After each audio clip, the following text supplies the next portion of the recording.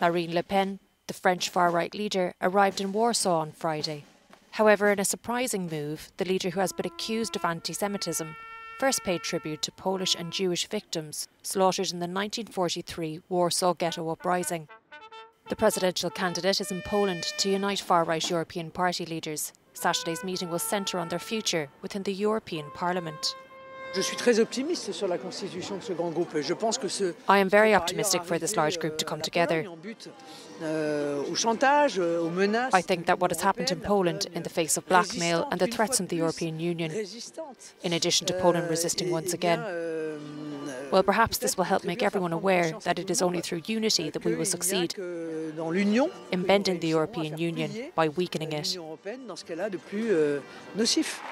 Le Pen is also grappling with a much more hardlining candidate, Eric Zemmour, who is draining her voters' base.